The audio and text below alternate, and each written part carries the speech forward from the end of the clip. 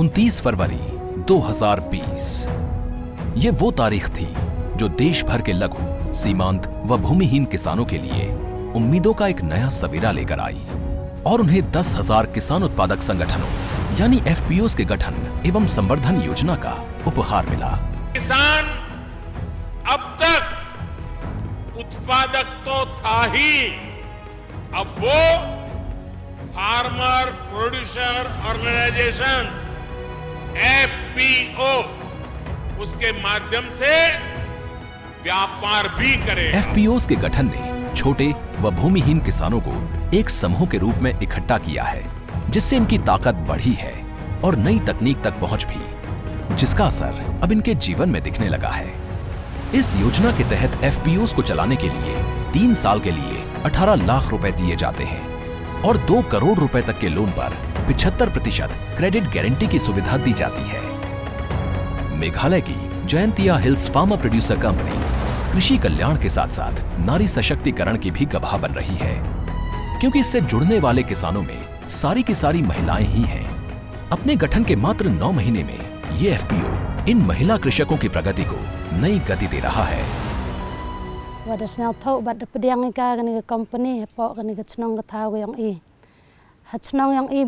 Ram kam tam ku em po gani ke company da em i kam wan rus pa tam ginong ram.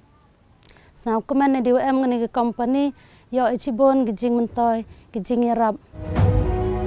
Chhattisgarh का बालोद आज इस योजना की रोशनी से एक नई सुबह का साक्षी बन रहा है यहाँ अप्रैल 2021 में स्थापित की गई सर्वोदय कृषक प्रोड्यूसर कंपनी आसपास के 11 गाँवों के सैकड़ों किसानों का जीवन रोशन कर रही है मैं अन्य जगह से खाद दवाई लेता था तो बहुत ही ऊँचे दामों में और बहुत ही परेशानियों का सामना करना पड़ता था।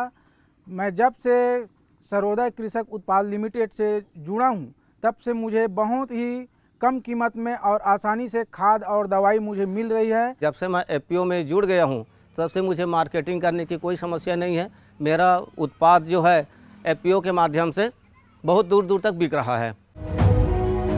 ओडिशा का संबलपुर।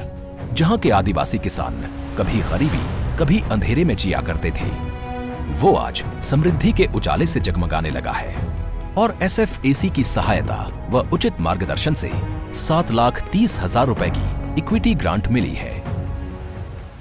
एपीओ आसला बाद मत दुई पैसा मिलवार बाद मुई गोटे मेसीन बसई करी। दुई पैसा अच्छा तेल रो मेसीन बसई करी। दुई पैसा भल कमाऊे मुई।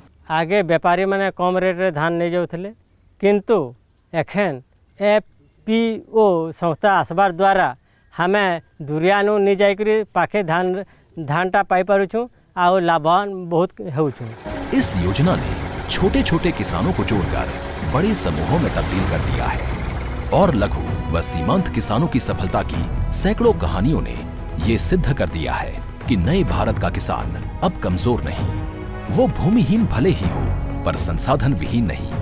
उसके पास आज तकनीक की ताकत भी है और सरकार मदद की राहत भी। और मात्र दो वर्ष के अंदर देश का अन्नदाता इस एफपीओ योजना से जुड़कर अपना जीवन सुखमय और समृद्ध बना रहा है।